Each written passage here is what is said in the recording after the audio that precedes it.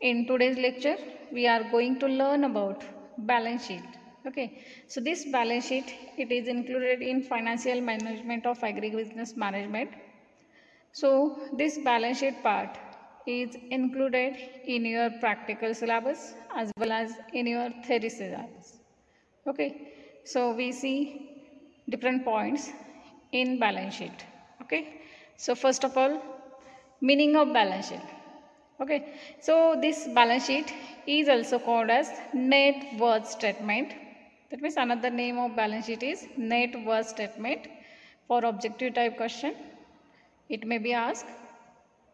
Then definition of balance sheet. So basically, this balance sheet is nothing but it is a financial statement which shows the financial position of a farm business at a particular time period is known as balance sheet or net worth statement. Okay? So basically this balance sheet is a statement which shows the financial position of a farm business at a particular time period is known as a balance sheet. Okay? This is the definition of balance sheet.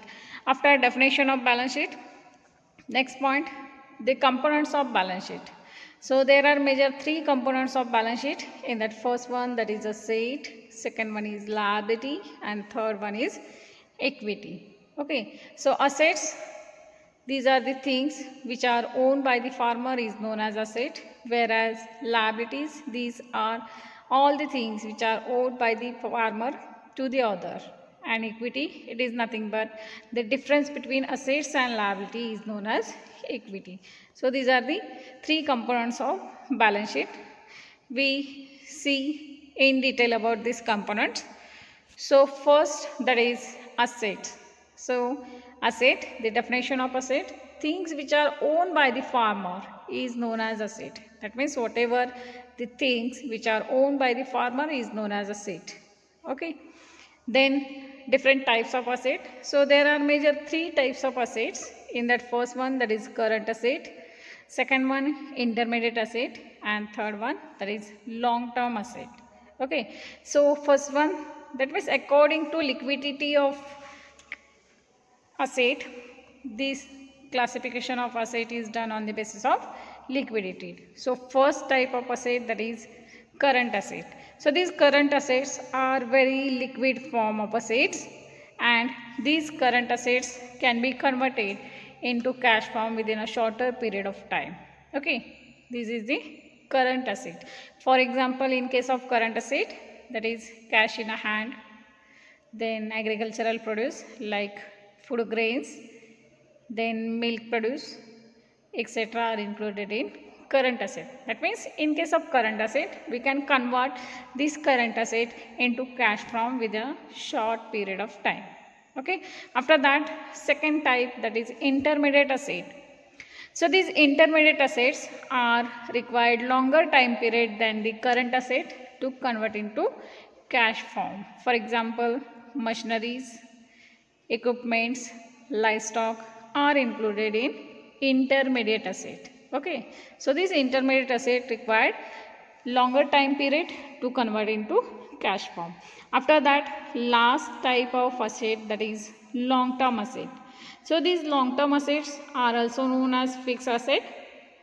So these long term assets are required larger time period to convert into cash form. For example, land, then farm building etc are included in long term asset.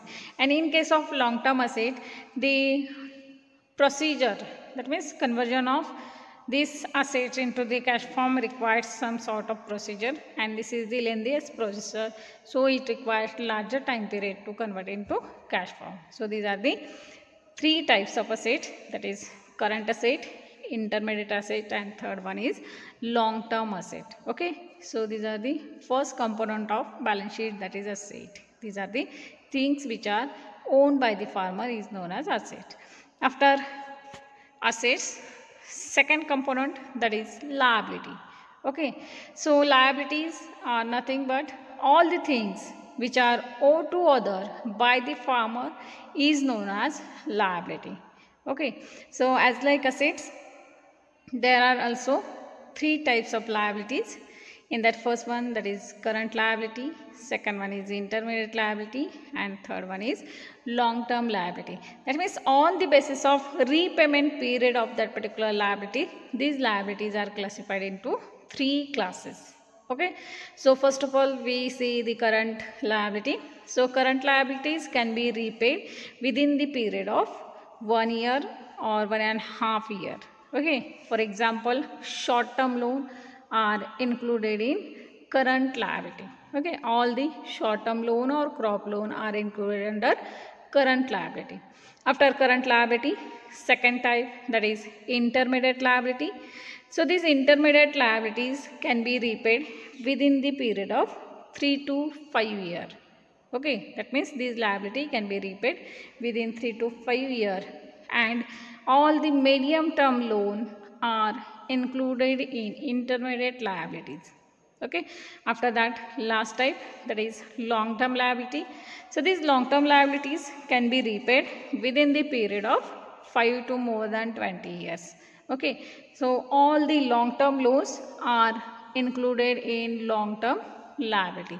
So these are the different types of liability. After liability next component that is equity okay.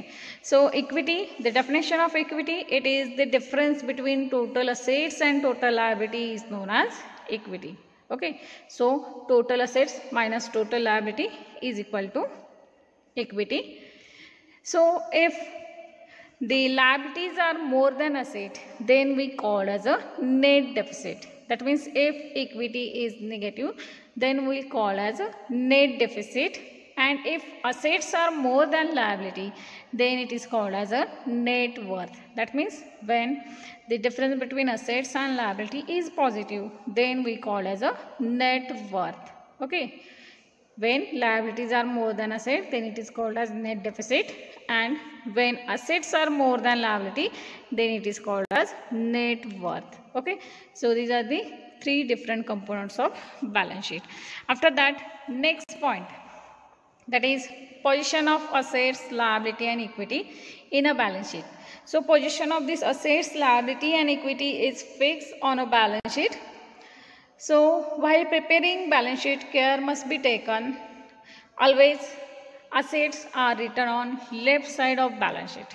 That means whenever you start to write your balance sheet, it is must to write all the assets on left side of a balance sheet. Then position of liability. That means liabilities are written on right side of a balance sheet. Okay? Assets are written on left side whereas liabilities are written on right side of a balance sheet. Then if there is net worth net worth means when assets are more than liability then we call as a net worth. And if there is net worth then this net worth is written on right side below the liability okay. If there is net worth then it is written on right side below the liabilities. And if there is net deficit net deficit means when liabilities are more than asset then this net deficit is written on left side below the assets. Sorry left side below the assets. Okay. So this is the position of assets, liability, net worth and net deficit. Assets are always written on left hand side. Liabilities are always written on right hand side. Net worth is written on right hand side below the liabilities and net deficit it is written on left side below the assets. Okay. So both sides are balanced. Hence it is called as a balance sheet. That means asset side as well as liability side, both sides are balanced. So this statement is known as balance sheet. Okay. After this position, next one that is analysis of balance sheet. So this balance sheet can be analyzed with the help of different test ratios. Okay. So these are the different test ratio which are used for analysis of balance sheet. We see one by one these different test ratio. In that first ratio that is current ratio okay so current ratio formula for current ratio is equal to current asset divided by total current liability okay total current asset divided by total current liability we are getting current ratio. This current ratio indicate the capacity of farmer to meet the immediate financial obligations. Okay, that means this current ratio indicate the capacity of farmer to meet immediate financial needs and this indicate liquidity within the one year. That means this current ratio indicate liquidity position of farm within the one year. And if this current ratio is more than one then it indicate favorable run of business. Okay, this is the first ratio that is current ratio. Total current assets divided by total current liability. And if this current ratio is more than 1 then it indicate favorable running of business okay after that second ratio that is intermediate ratio. So this intermediate ratio formula for intermediate ratio is equal to total current asset plus intermediate asset divided by total current liability plus total intermediate liability. Okay so this intermediate ratio is equal to total current asset plus total intermediate asset divided by total current liability plus intermediate liability this intermediate ratio is also known as working ratio. Okay? Intermediate ratio is also known as working ratio.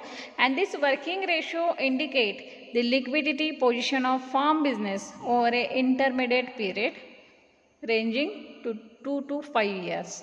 Okay? So this intermediate ratio indicate liquidity position of a farmer from 2 to 5 years. Okay? And similarly if this intermediate ratio is more than 1 then it indicates sound running of business okay this is the second ratio that is intermediate ratio after that third ratio that is net capital ratio so net capital ratio is equal to total assets divided by total liability. Okay. So these total assets are nothing but summation of current asset plus intermediate asset plus long term asset. Whereas total liabilities is the summation of current liability, intermediate liability and long term liability. So this net capital ratio is equal to total assets divided by total liabilities. This inter, uh, sorry, net capital ratio indicate solvency position of a farmer. Uh, if this ratio is more than 1, then the funds of institutional agencies are safe. That means if this net capital ratio is greater than 1, then it indicate whatever the loan or funds which are taken from institutional agency, that funds are safe. That means farmer is capable to repay his entire loan amount within a stipulated time period. That is net capital ratio. After net capital ratio, next one or next ratio that is current liability ratio. So this current liability ratio is equal to total liability divided by owner's equity. Okay.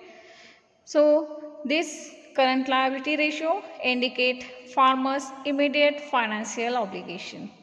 Okay. So this indicate farmer's immediate financial obligation and if this ratio is less than 1 that it indicate healthy performance of business. Okay, current liability ratio if it is less than 1 then it indicate healthy performance of business. This is the current liability ratio. After that next one that is debt equity ratio. So debt equity ratio is equal to total debt divided by owner's equity. Okay, so from its name you have to remember the formula of debt equity. So debt it is the first word. So write total debt on upper side and equity it is the second word. So write owner's equity on lower side. Okay, so this is the total debt upon owner's equity that is debt equity ratio. This debt equity ratio indicate capacity of farmer to meet long term commitments. That means whatever the commitments of farmer to repay the loan amount within a stipulated time period that commitment can be fulfilled by that particular farmer it indicated by this debt ratio. Okay. If this debt equity ratio is less than 1, then it indicate healthy performance of business. That means if debt equity ratio is less than 1, then and then only it indicates sound running of business or healthy performance of business. Okay, this is the debt equity ratio. After debt equity ratio, next ratio that is equity value ratio. Okay, so equity value ratio, formula for equity value ratio, equity value ratio is equal to owner's equity divided by value of asset. Okay, owner's equity divided by total asset is the formula for equity value ratio and this equity value ratio indicate productivity gained by the farmer in relation to assets he has. That means whatever the productivity of farmer along with its uh, assets that can be indicated by this equity value ratio. And this equity value ratio, if it is less than 1, then it indicates sound running of business or healthy performance of business. Okay, so these are the different test ratios which are used for analysis of balance sheet. Okay, so next one that is hypothetical example of balance sheet. So in this picture we can see the balance sheet how this balance sheet is prepared. So uh, see in here uh, assets these assets are right on left side whereas liabilities are right on uh, written on right hand side whereas the total uh, these are the current assets then intermediate asset long term assets these are the written on this side assets and here the current liabilities long term liabilities are written on right hand side okay so this is the example of balance sheet. Okay so question may be asked on this topic like define balance sheet and explain in detail about balance sheet. Okay so many of time the short notes on ask write short note on balance sheet. And in case of practical there is numerical calculation on this balance sheet. That means you have to find out different test ratios from the given data or given values. Okay, so this is all about today's session that is balance sheet. Okay, thank you all.